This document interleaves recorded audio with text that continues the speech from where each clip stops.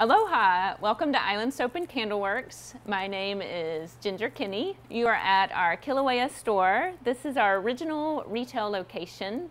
Island Soap and Candleworks has actually been making soaps and candles on Kauai since 1984. We uh, make soaps and candles right in the store for customers to come and watch. When we make our soaps, they're a base of coconut palm, olive, kukui, and macadamia nut oil, so they're really moisturizing. All right, now we are over at our candle making station, and I'm gonna make some blue vanilla candles.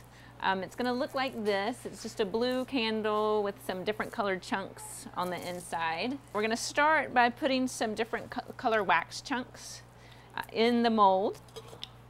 Sometimes if we drop a candle, we'll melt it down and make chunks out of it. Nothing ever goes to waste.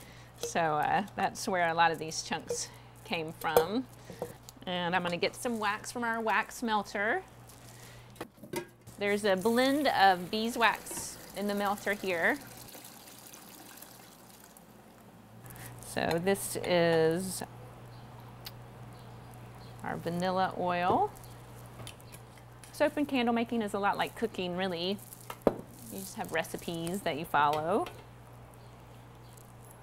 These are color chips. They're kind of like really intense crayons. Only two for this.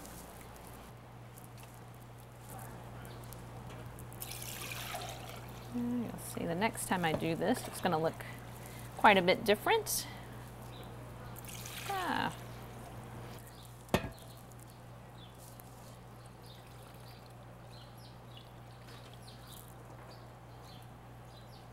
These candles are a lot faster than soap. This will be ready to take out of the molds tomorrow and be ready to sell tomorrow, same day, as soon as we get them out of the molds.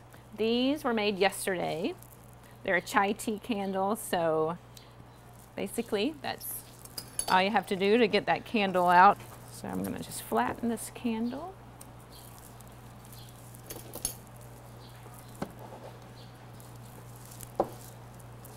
There you have it.